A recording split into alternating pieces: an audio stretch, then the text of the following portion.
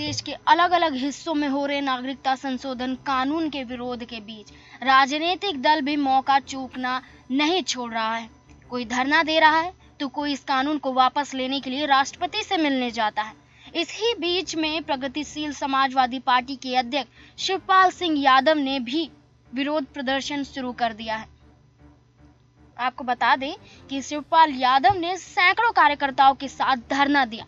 शिवपाल ने इस धरने के दौरान ये ज़ाहिर किया है कि नागरिकता संशोधन कानून नहीं आना चाहिए। इसके खिलाफ उन्होंने विरोध प्रदर्शन और वो आंदोलन कर रहे हैं, इसलिए वो धरने पर बैठ गए हैं। इसी के चलते शिवपाल ने कहा कि इस कानून के खिलाफ पूरे देश में विरोध ही नहीं, विद्रोह की स्थिति है। सरकार को इसे तत्काल वापस लेना चाहिए। भारत में जो भी हिंसात्मक स्थिति पैदा हो गई है इसको देखते हुए सरकार को इस पर तत्काल एक्शन लेना चाहिए। लेकिन मोदी सरकार इस पर कुछ कहती हुई नज़र नहीं आ रही है। और क्या कुछ शिवपाल यादव ने धरने के दौरान मीडिया से रूबरू होते हुए कहा है इस वीडियो में आप सुन सकते हैं। देखिए इस वीडियो में क्या कुछ कहा शिवपाल ने। हाँ, सर आज यहाँ पे परास्मा प्रदर्शन कर रही है। आप यहाँ मौजूद हैं किस तरह से किया जा रहा है?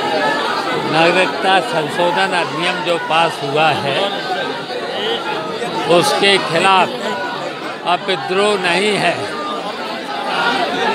विरोध नहीं है, विद्रोह है पूरे देश में और छात्रों को नौजवानों की आवाज़ को रोका नहीं जा सकता है। अब जो सरकार ने, जो हमारे संविधान को तोड़ने का जो काम किया है तो हम लोग संविधान बचाओ देश बचाओ।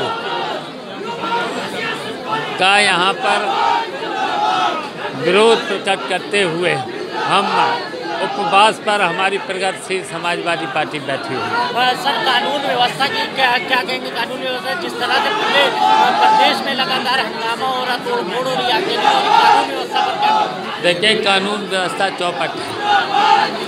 और पूरे देश में इस कानून का विद्रोह है।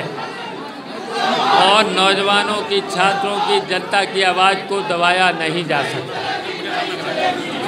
जैसा कि आपने देखा कि लगातार पूरे देश में अलग अलग हिस्सों में अलग अलग यूनिवर्सिटी में अलग अलग विपक्षी दल विरोध कर रहे हैं, उसी के साथ साथ शिवपाल सिंह यादव भी उन्हीं कड़ी में जुड़ जाते हैं, जो हर किसी के साथ हैं और उनका समर्थन करते हुए नज़र आ रहे हैं, जो इसके विरोध में खड़े हैं, जो इस बिल के विरोध में खड़े हैं, उनका समर्थन शिवपाल यादव कर रहे हैं और इसी के चलते वो धरने पर भी बैठे हैं और धरने पर बैठ के और उन्होंने काफ़ी कुछ कहा है, जैसा कि आपने इस वीडियो में सुना ही है।